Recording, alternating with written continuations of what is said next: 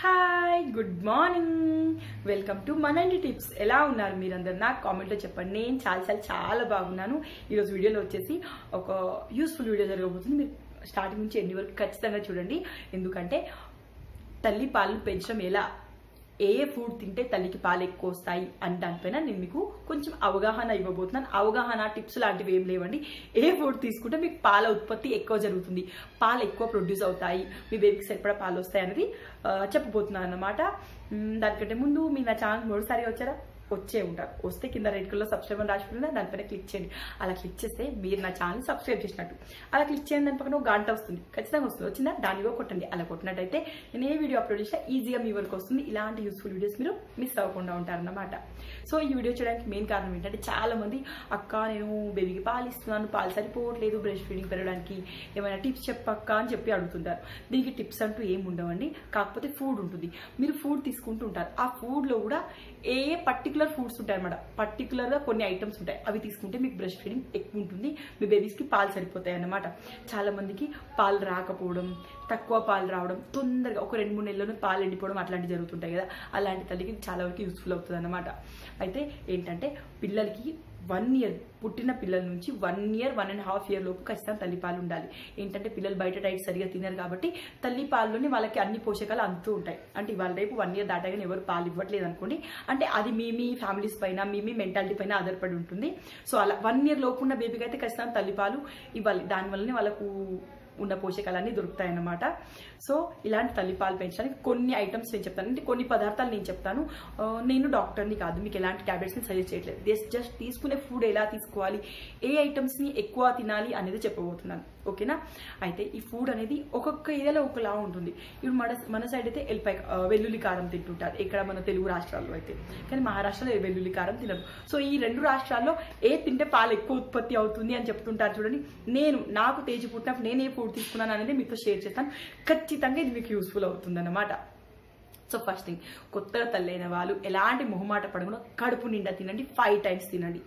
Five six times తినండి. Four four hours gap తోటి కొంచెం కొంచెం తినండి.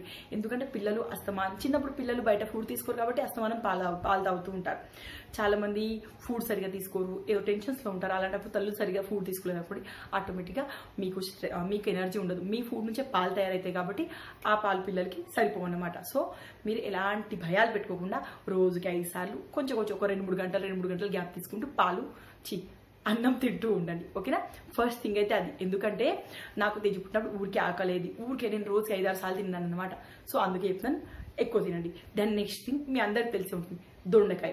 దొండకాయ ఎక్కువ తీసుకోండి. దొండకాయలో పాలను పెంచే పదార్థాలు గుణాలు ఉండొచ్చేమో. ఎందుకంటే నాకు అత్తమ్మ దొండకాయలు ఊరికే పెట్టేది. దొండకాయ తింటే మీరు తిన్న రోజు చూడండి పాలు ఎక్కువ వస్తుంటాయి. ఖచ్చితంగా పెరుగుతుంది పాల ఉత్పత్తి. దొండకాయలు ఎక్కువ తినండి. దొండకాయలో పాలు పెంచే పదార్థాలు చాలా వరకు ఎక్కువ ఉంటాయి. మరియు చల్లదనం కూడా దొండకాయలు బాగుంటుంది టేస్ట్గా బాగుంటుంది. మీరు వేపుడు చేసుకోవచ్చు ఏదైనా చేసుకో తినొచ్చు. దాని నెక్స్ట్ పచ్చిమిర్చి ఉంటుంది పచ్చిమిర్చి తినడం మానేయండి. అంటే దాంట్లో పాలు పెరగడం పెరగకపోవడం జరగదు. కానీ పచ్చిమిర్చి తినడం వల్ల పిల్లలకి ఏంటంటే కడుపులో నొప్పి వస్తుంటుందట. నొప్పి వస్తుంది నంజు తయారవుతుంటుంది. సో మరి పచ్చిమిర్చి తోటి మీకు కూడా కడుపులో మంట లాంటివి రావడం జరుగుతుంది లాంటివి రావడం జరుగుతాయి కాబట్టి పచ్చిమిర్చిని తీసుకోవడం మానేయండి. కొంచెం పొడి కారంని తీసుకోండి పచ్చిమిర్చి అంతగా ఓకేనా? దాని నెక్స్ట్ పాలు దొండకాయ అయిపోయిందా? బీరకాయ తినండి. బీరకాయ తోటి పాలు చాలా వరకు ఎక్కువ ప్రొడ్యూస్ అవుతాయి అనమాట మీ బేబీకి సరిపడా పాలు అయితే ఖచ్చితంగా వస్తాయి. దాని నెక్స్ట్ మన సైడ్ అయితే పిల్లలు పుట్టిన వాళ్ళకి వెల్లుల్లి కారం. అంటే ఒక్క ఏరియాలో ఒక్క ఫుడ్ పెడుతుంటారు అన్నమాట ఒక్క ఏరియాలో ఒక్క దాన్ని ప్రిఫర్ ప్రిఫర్ చేస్తుంటారు. కానీ ఓవరాల్గా అవన్నీ పాలు పెంచడానికి. వెల్లిపాయ కారం ఉంటుంది కదా వెల్లిపాయలు అల్లం ఇవి ఎక్కువ తీసుకోండి. వెల్లిపాయ అయితే ఖచ్చితంగా ఎక్కువ తీసుకోండి. వెల్లుల్లిలో కూడా పాలు పెంచే పదార్థాలు అంటే పాలను పెంచే గుణాలు చాలా ఎక్కువ ఉంటాయి దెన్ నెక్స్ట్ ఇది ఏంటి? పాలకూర తీసుకోండి. పాలకూర వల్ల కూడా చాలా వరకు పాలు పాలు రావడం పెరుగుతుంది. మరి అది కాకుండా పాలకూరలో ఇంకా ఎక్కువ విలువలు ఉన్నాయన్నమాట. కాల్షియం ఎక్కువ ఉంటుంది మీ బేబీ కూడా స్ట్రాంగ్గా ఉంటుంది అనమాట మీరు కూడా ఉంటారు.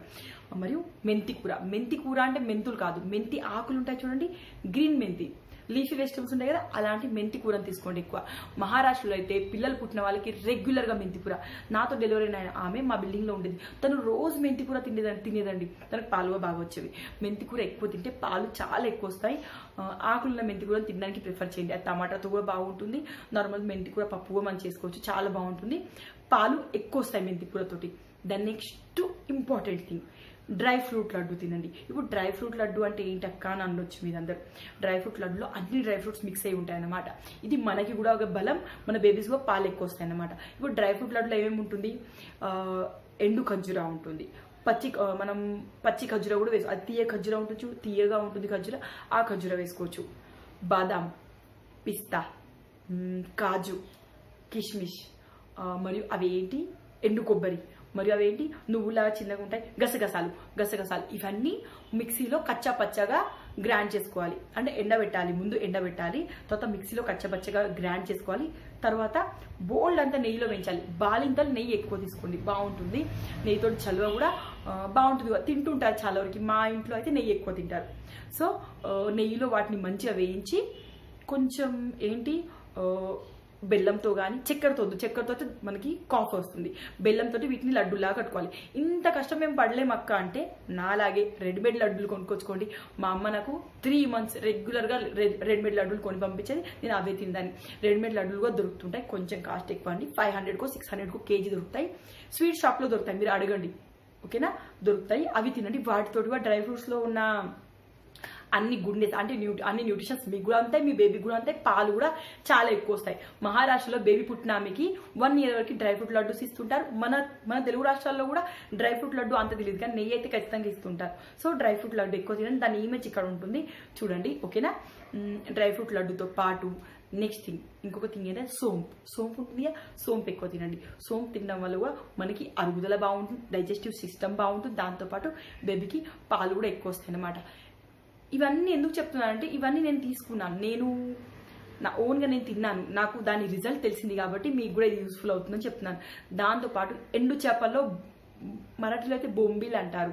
బొంబిల్ అంటే దాని ఇమేజ్ ఇక్కడ ఉంటుంది. తెలుగులో నాకు కరెక్ట్ దాన్ని ఏమంటారు తెలియదు అది ఎక్కువ తీసుకోండి. ఎందుకంటే దానివల్ల కూడా పాలు ఎక్కువ వస్తాయని అంటుంటారు అన్నమాట బొంబిల్ని ఎక్కువ తింటే పాలు ఎక్కువ వస్తాయని అంటుంటారు.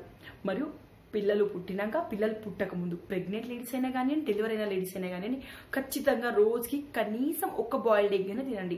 ఎగ్లో పాలను పెంచే పదార్థాలు ఏమి ఉండవు కానీ ప్రోటీన్స్ ఎక్కువ ఉంటాయి. మీరు హెల్దీగా ఉంటారు. ఎందుకంటే తల్లి హెల్దీగా ఉన్నప్పుడే మీ బేబీకి పాలు వస్తాయి మీ బేబీ కూడా హెల్దీగా ఉంటుంది. అర్థమైందా? సో అవి తీసుకోండి. దాంతోపాటు చాలామంది డెలివరీ అయిన ఉమెన్స్కి పళ్ళు ఎక్కువ పెడుతుంటారు. పళ్ళు ఎక్కువ తీసుకోండి. ఇప్పుడు పళ్ళల్లో అంటే వెయిట్ చేసే పళ్ళు తీసుకోకండి. ఎందుకంటే బేబీ కూడా వెయిట్ చేసే ఛాన్సెస్ చాలా ఎక్కువ ఉంటాయి. ఇవేంటి? యాపిల్స్ తీసుకోండి. అలాంటి కొన్ని కొన్ని ఫ్రూట్స్ తీసుకుంటూ ఉండండి. వాటి వల్ల ఏంటంటే మీరు కూడా హెల్దీగా ఉంటారన్నమాట.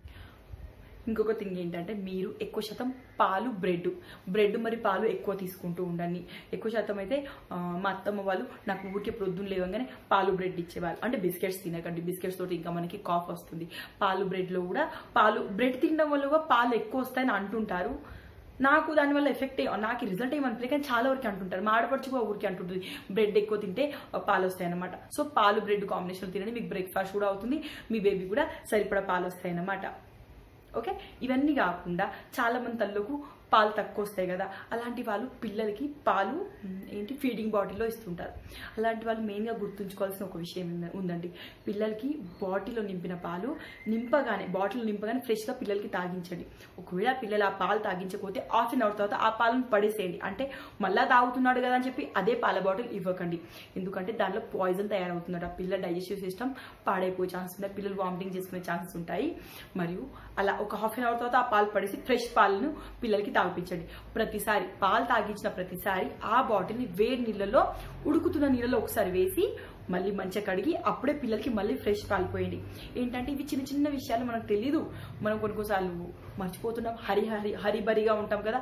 సో అలా ఆగమాగం ఉన్నప్పుడు మనం అవి వాష్ చేయం పిల్లలకి అలాంటి వాటి వల్ల కడుపులో ఇన్ఫెక్షన్స్ అయ్యి పిల్లలు ఊరికి ఏడ్చే ఛాన్సెస్ చాలా ఎక్కువ ఉంటాయి అన్నమాట వీటితో పాటు మీరు బీట్రూట్ తీసుకోవచ్చు. బీట్రూట్ తోటిగా మీకు పాల ఉత్పత్తి ఎక్కువగా ఉంటుంది. మరియు పత్- బాదాం ఉంటుంది కదా డ్రై ఫ్రూట్ లడ్డూతో పాటు బాదాంని నైట్ నానబెట్టుకొని ప్రొద్దున రెండు లేదా మూడు తినండి. దీనివల్ల ఏమవుతుందంటే పిల్లలు తిననంత వరకు మనమే తినాలి. సో మన పాలు పిల్లలు తాగుతారు కాబట్టి చాలా వరకు బాదం తింటే మైండ్ పెరుగుతుంది షార్ప్గా ఉంటుందని అంటుంటారు కదా కదా? అలా. అలా మీ పిల్లలు పాలు తగిన రోజులు మీరు బాదం తినండి. పిల్లలు తినడం స్టార్ట్ చేశాక చిన్న పిల్లలు ఉన్నారు అనుకో తేజు అంత బాగున్నాడు అనుకోండి బాదంని పాలలో లైట్గా చక్కెరేసి బ్లెండ్ చేసి ఇవ్వండి. బాదం మిల్క్ సూపర్గా ఉంటుంది ఇష్టంగా తాగుతారు పిల్లలు. ఓ పిల్లలు తాగుతారంటే ఓ బాటిల్ ఏడు తాగారండి. చాలా తక్కువ వాళ్ళు హాఫ్ గ్లాస్ తాగినా మనం సంతోషపడాలి. అంతైనా తాగారని చెప్పేసి. ఇంతేనండి. ఈ పదార్థాలు కాకుండా ఇంకా కొన్ని ఉండొచ్చు. మీకు తెలుసా? ఆ ఇంకా కొన్ని నాకు కామెంట్స్ చెప్పండి ఎందుకంటే నాకు తెలిసిన నేను మీతో షేర్ చేశాను. ఇంతేనండి. ఇది ఈ రోజు నా వీడియో నా వీడియో మీకు నచ్చితే లైక్ చేయండి షేర్ చేయండి కామెంట్ చేయండి. మరిన్ని అప్డేట్ కోసం మన ఇంటి సబ్స్క్రైబ్ చేయడం మర్చిపోదు. ఇంకో విషయం ఏంటంటే ఇది ఎవరికైనా అవసరం ఉంది ఎవరికైనా యూస్ఫుల్ అవుతుంది అనిపిస్తే ఖచ్చితంగా వాళ్ళతో షేర్ చేయండి. ఓకేనా బాయ్ బాయ్ నేను కలుస్తాను నెక్స్ట్ వీడియోలో అంతవరకు టాటా.